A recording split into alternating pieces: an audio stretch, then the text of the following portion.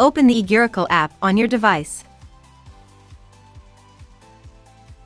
Tap on the video section of the app to access the subject-wise videos. Choose a subject of your choice from the available options.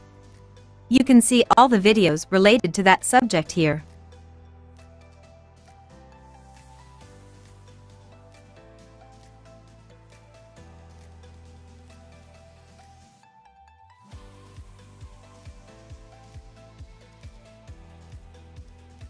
To watch a video, simply tap on the title or thumbnail of the video you would like to watch.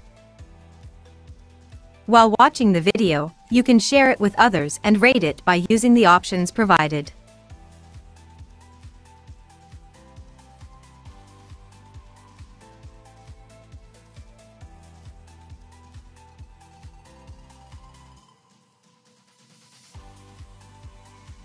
You can also change the quality and language of the video as well as the playback speed.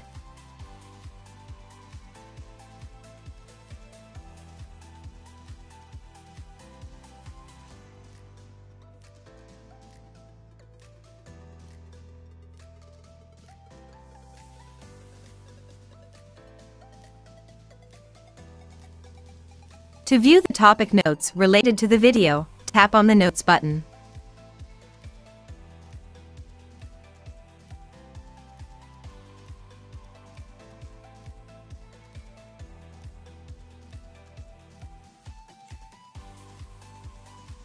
Here, you can also add your own notes at any particular point of time in the video.